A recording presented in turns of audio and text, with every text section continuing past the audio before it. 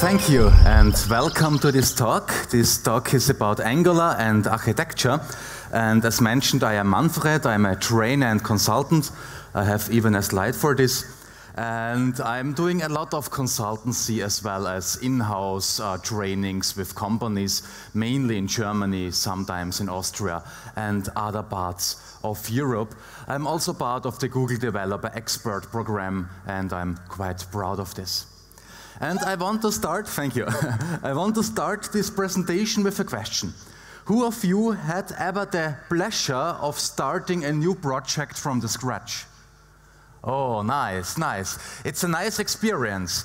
Uh, at least in my uh, past, it was ever a nice experience. At the first day, your project looks like this. It is a green field with all those possibilities. Everything can happen here. And then after some weeks, it looks like this. It is very cute, as you see. It does exactly what it is supposed to do. But after some years, it exactly looks like this guy here. And no, this isn't me at college. This is the Frankenstein monster. You know the Frankenstein monster, this monster that was assembled of different body parts of different people. And this is exactly what happens when we don't care about architecture. We are adding one body part after the other one. We are adding one use case after the other one. We are adding several libraries and perhaps frameworks. And maintaining such a system is really difficult. And this is exactly what this talk is about. In this talk, I want to give you three ideas of how to avoid such a Frankenstein monster within your projects. I will start with something that is quite obvious. I will start with NPM packages. And then I will move on to the monorepo repository that is quite common nowadays in the area of Angular development. And as a third point, I will speak about micro apps, micro apps, microservices, micro frontends, as you want to call them. And of course, at the end, I will give you some guidance upon how to choose the right solution for, for your very uh, special needs for your projects and so on. So, first things first, let's start with the NPM package approach. The idea behind this is to subdivide a big system into tinier parts. And each part could be an NPM package that is installed on demand and integrated into your overall architecture. And here I have a good message for you, perhaps you have seen it. Since about six months, using NPM packages, especially creating NPM packages, has been built in into the CLI. Using the CLI 6 and above, it's really easy to do something like this. Everything you do is newing up a new project, and then, of course, you can move into this project. And in addition to that, and this is the new point, you can create a sub-project. And this sub-project here is a library, a flight booking library that cares about a specific use case in my overall application. In addition to that, you can add further applications. For instance, this playground application here I'm using to test my library.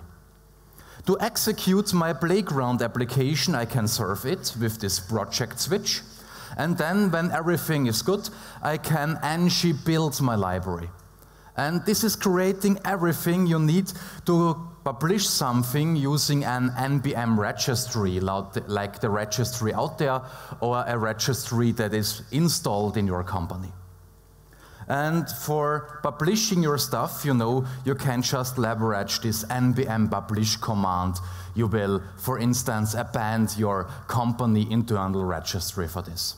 It is really nowadays as simple as that. In former days, it was a bit more complicated. And this way of subdividing a project have several advantages. One advantage is you can easily distribute your source code amongst your colleagues. You just publish it to the NPM registry and your colleagues can make use of it. Another advantage is you're getting versioning out of the box. Every time you publish your package, you have to assign a new version. And so your customers can decide upon whether to go with the current version or with an older version for reasons of compatibility, for instance. Those are the advantages. But of course, there are also some disadvantages, and I have placed those disadvantages on the next slide. You can find them here.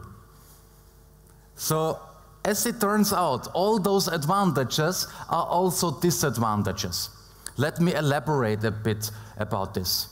When it comes to distribution, it is somehow annoying when you have to distribute your source code within one project using an NPM registry. Just imagine how this would look like. First of all, as the library developer, you would implement your library. You would assign a new version, you would test it, and after this, you would publish it to the NPM registry and then you are changing the role, then you are the application developer, you would NPM install the package, you would integrate the package into your application, and of course you will find a bug, won't you? And then one more time you have to switch roles. You are the library author again, you will uh, fix the bug, you will publish a new version, and so on and so forth. So as you have seen in this little role play, it is really annoying to use an NPM registry within one project. Another advantage that could be a disadvantage is versioning. Because versioning means that there are old versions out there. And this means you can have version conflicts. And somehow, especially when it just comes to one project, you want to force everyone into using the newest version. This is not necessarily true when you want to share your source code with other projects, but when it comes to one big project, everyone should normally use the same, exactly the same version. And this is exactly where the second approach comes in, I want to talk about today. The second approach is called a monorepo approach, or to say it's more precise, monorepos. A monorepo is just a folder structure like this that is checked into your source control. And as you see here, you have a big projects folder, and this projects folder contains a lot of sub-projects. Each and every sub-project goes in one of those subfolders here. That means everything is put together. The best thing about this monorepo approach is that you have this node modules folder here you have only one of those node modules folders. That means each and every sub-project is using exactly the same version of your dependencies, exactly the same version of Angular, of Bootstrap, and of all the other dependencies. Just imagine what would happen if you used Angular 5 here and Angular 7 there. And then imagine that you are using those sub-projects together. I guarantee you, hell would break loose if this was the case. Here we are good, we are, here we are on the safe side, because we are forced into using exactly the same versions of all dependencies. And this is the first advantage I have here. Everyone uses the latest versions, but not only of your dependencies, but also of your other projects because the other projects, the other sub-projects are just in the folder next to yours. You just have to do something like, you know, point point slash project name slash this file or that file, and you get the newest stuff from the other parts of your software. And of course, as mentioned, we don't end up having version conflicts. Another advantage is you don't have the burden of distributing libraries. You just need to create a new folder, and that's it. That's really a piece of cake, if you ask me. And there is a lot of experience out there with this approach. Google is using it quite heavily. Facebook is also using it quite heavily. And in some areas of software development, it is also the default solution for about two decades. Who of you is using .NET or Visual Studio?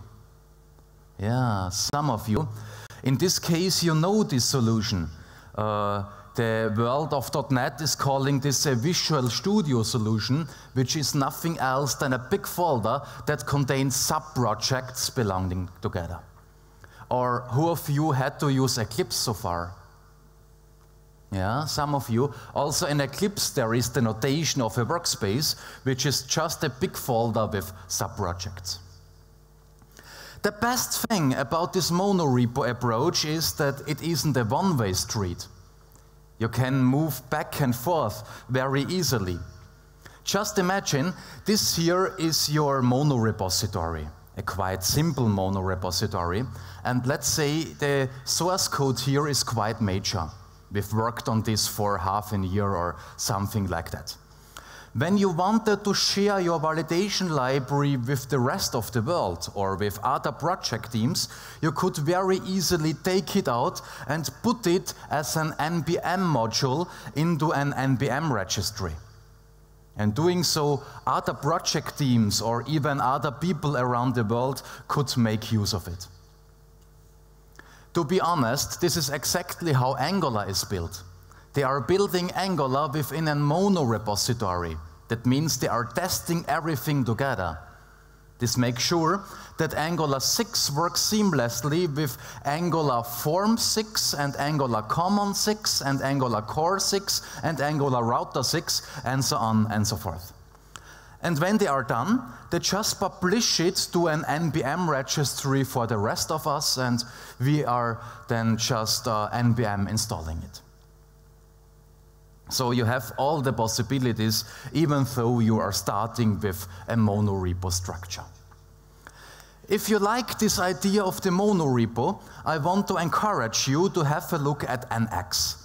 NX is what I'm calling the sugar dip on top of the Angular CLI. NX is extending the Angular CLI with very nice additional features, and most of them are quite in handy when it comes to monorepos. I want you just to see one of those features. One of them is a possibility to display your project structure in a graphical way. That means you can display which subproject is accessing which other subprojects. And this is quite important when you want to prevent this Frankenstein monster. Because when each and every library of your system is accessing each and every other library, you have a mess. You have a big ball of mud. Because in this case, you cannot exchange anything because everything else depends on it. It is just one feature that helps with monorepos within this Nrwl NX toolkit. So we now have a lot of advantages. We don't have the burden with distributing libraries, we don't end up with version conflicts, and we finally managed to subdivide a big project into tinier parts. This is the advantage, but there are also some disadvantages, and you will find them one more time on the next slide. You will find them here. So one more time, it turns out that all those advantages are also disadvantages. Because having a lot of sub-projects is also a disadvantage when they talk to each other. And normally they do. And talking to each other is an issue because every time one component of your system talks to another part of the system, you are creating a contract. And contracts are hard to change. If you don't believe me, just try it out in the next break. Just try to change your renting contract immediately or your marriage contract. You will find out it is not easy at all. Changing a contract involves a lot of discussions. It uh, involves finding new solutions, and perhaps you have to find an intermediate solution. It also takes some time to get there to adopt the real world to the new solution in the new contract. So somehow this is a pity. This is especially a pity when you have several teams, because that means those teams need to coordinate each other. And that means they have to do a lot of meetings, and sometimes you have the impression that you are spending more time with meetings than with producing source code. And you know it, in big companies, this very often ends up in political discussions. It is very often about company politics. Another thing you are decreasing here is maintainability. You cannot easily change something because the other team might depend on it. And that means that you are ending up just with one architecture and just with one framework. And having just one architecture, having just one framework, going with such a one size fits all solution is really a pity when it comes to long term projects. Especially business projects have to be maintained for 10 or 15 years. And in the course of 10 or 15 years, a lot of things can show up new technologies, new use cases, and perhaps you need a completely different architecture for the use case that shows up in seven years. And this approach here, of course, is taking out a lot of flexibility. And this leads me to the third approach I want to speak about today. It's about micro apps. The idea of micro apps is quite simple, and it is everything but new. The idea is not to write a big system. Instead of this, you are writing several tiny systems that don't need to interact with each other. Or if they need to interact, then very seldomly. So you have self-contained systems that can be created by self-contained autarkic teams. In the backend, this approach is quite common nowadays. Everyone is speaking about it. They are calling it microservices. When you take this approach and put it to the area of front-end development, you have something like a micro app or micro front-ends. This is how we are calling it today. And of course, this brings a lot of advantages. We are minimizing the amount of contracts we have. We can do a separate deployment as well as a separate development in each order. And you can mix and match technologies as well as mix and match architectures. Each tiny micro application can have its own technology stack and its own architecture, or to put it in another way, you can use the best technology decisions for each of your tiny applications. And now, of course, the question is how to implement such a thing. And one answer would be one answer would be to go with hyperlinks. This is the simplest approach. And I think hyperlinks are quite a valid solution. I mean, hyperlinks are here for about 20 years. And to be honest, I have never ever heard someone to say a bad word about hyperlinks. In this case, you would end up having several single page applications and they would point to each other by means of hyperlinks. This is something like Google is doing.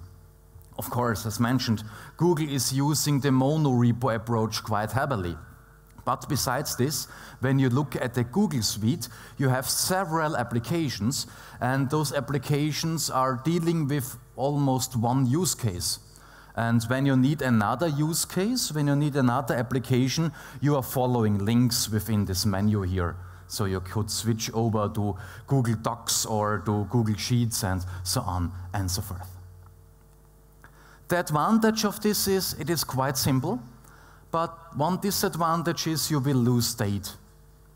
Every time you are moving over to another application, you will lose your state. And you need to load a new application, and this is exactly what we wanted to prevent when we've invented single page applications. But as it turns out, for some scenarios like a product suite, it is a good approach and a simple one. By the way, the most important aspect of this whole talk can be seen on this slide here. I'm putting a lot of emphasis into it. Namely, in Germany, to be more precise, in the country that is called Lower Saxony, it is a federal country of Germany, there is a village called Steyerberg. I'm so proud of it, they have my name in it. Is someone here from Lower Saxony? Yeah, I love you people, thank you. You are the greatest. Thanks. Cool. So let's go on with the boring stuff, uh, with the technical stuff. When you are doing this approach, then you have something like shared widgets. You have to care about sharing widgets to provide something like a consistent UI. And for this, it would be a nice idea to use something like web components. And guess what? In the area of Angular, we are happy because we have Angular elements and they allow us to provide framework neutral components, components that can be used with each and every framework, even with vanilla JS. Of course, sometimes hyperlinks are not enough. In those situations, you need to provide a shell a shell that is capable of loading other single page applications on demand. In this case, you will not lose state. What do you think? What is the simplest but also ugliest solution to load one single page application into a shell which is also a single page application? iframes, yeah. I don't know about you, but every time I'm hearing the word iframe, I'm getting this strange feeling in the stomach. No, just kidding. Sometimes iframes are just the right solution because they allow you to integrate third-party vendor applications. You can even integrate something like, um, like legacy applications. Let's say PHP applications or ASP.NET applications. They don't need to be single-page applications. And they provide a really good amount of isolation. That means the application in the first iframe cannot influence the application in the other iframe. Bugs are isolated as well as the layout cannot influence the other side.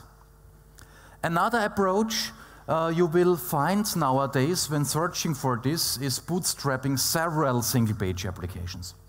That means you have one index HTML and you load several bundles with different single page applications into it, hopefully in a lazy manner. Hopefully you will do it using lazy loading. And so one Angular application and one Angular JS application and one Vanilla JS application ends up in your browser. And for this I have prepared a demonstration. Let's have a look at this. What you see here is just a shell application. It's written with Angular, and the only task of the shell application is loading other self-contained applications into this working area. This is what I'm calling my blue Angular client. I can also load a red Angular client. As you see here on the next step, those applications are really self-contained. They can also run in standalone mode. That means one team can concentrate on this client, it can do its testing, it can do its extensions, it can publish it when it's done, and after publishing, the shell will load the newest version of it into this working area. Let's click to payment. Oh, what's, what happened here?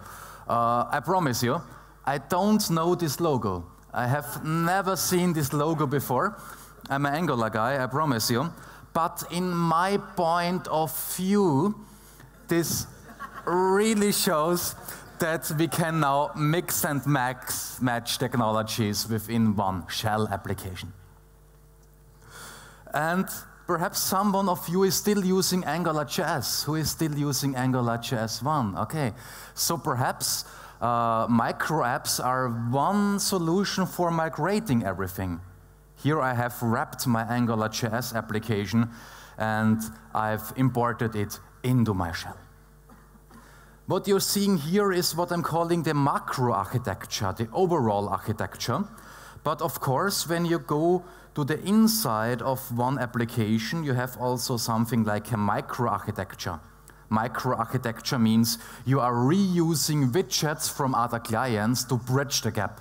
And as you see here, here I'm using a widget from my green client and a vanilla JS based widget, as well as a widget from my blue Angular client. Okay. So this seems to be quite a nice approach and it has some advantages. You're ending up with several small and decoupled projects that can be created with their own technology stack individually. And this is about mixing and matching technologies, not because we want, but because we have to when we think about a software system that needs to evolve over a decade or over a longer time period. We have autarkic teams. They can work on their own. They are self-contained. And we have a separate development as well as a separate deployment, and the team can have its own decisions. Those are the advantages. And one more time, there are disadvantages. I know, meanwhile, you know this game. Those are the disadvantages. Those are the disadvantages because all those advantages come with the fact that we have to load several bundles into our browser. And that also means those bundles cannot be as optimized as with a monorepo because the bundles are created individually. That means you cannot have something like overall optimizations, like overall tree shaking and so on. And somehow you have to take care about UI consistency. This is also a disadvantage or let's say a challenge you need to solve. Okay, so far you have seen several approaches to structure a big application to provide this Frankenstein monster. And of course now the question is which solution is the best for your very needs? And the answer is, well, it depends. It is really difficult to find the answer. I'm discussing this a lot with different customers, and it is really difficult because, let's be honest, every one of us just wants to have the advantages. No one of us wants to go with one of those disadvantages. And that's why you will very likely end up in cycles when discussing about something like this. To prevent those cycles, to shorten those discussions a bit, I've created a decision tree. Of course, the decision tree is not the last word on this, but it proved to be in handy to find a first good architectural candidate to find a first good decision. The first question I would ask you is Do you have a lot of shared state? Do you need to share a lot of state between your micro apps? And does the user need to navigate a lot between them? If you say no, there is little of this, you have something like a product suite, something like Office 365 or the Google Suite. And in this case, just start with tiny single page applications with less complex ones and connect them using hyperlinks.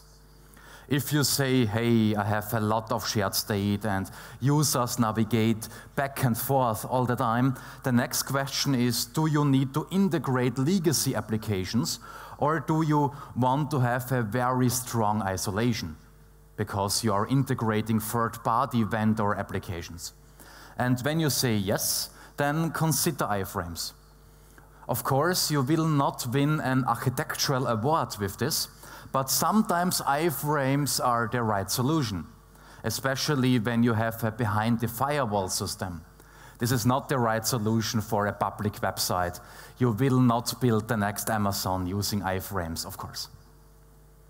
When you say, no, I don't need those legacy applications, the next question is, do you need a separate deployment? Or do you even need to mix and match technologies? Do you need autarkic teams? And when you say, no, I don't need this stuff, then you would go with the monorepo approach. If you say, yes, I need this, then consider bootstrapping several CLIs. If you say, no, I don't need this mixing and matching of technologies, consider mono repositories. So we are coming to the end of this talk. If you say, hey, I've liked this talk, check out my blog. I've written a lot of articles about this. This is currently one of my main topics. And even if you say, hey, this was an awful talk, check out my blog anyway. Perhaps I'm better at writing than at speaking, who knows. Okay, so let me sum up. We have seen we can use packages, NPM packages, to reuse existing source code between several projects.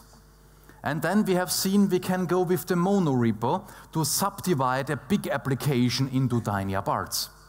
And we have also seen there is this micro app approach, and it is about decoupling projects. You get several tiny self contained projects. For using packages, you can go with the CLI 6, it's baked in now. For using monorepos, you can also go with the CLI 6 as well as with NX of Nrwl. And for using micro apps, you have several approaches. You could go with hyperlinks like Google. You could use iframes for legacy stuff. You could bootstrap several single page applications. One last thing I want to give you please beware the Frankenstein monster within your applications because it leads to a very uh, unmaintainable architecture. So thanks for coming. You will find all my material on my blog. Have a nice day and enjoy the conference. Thank you.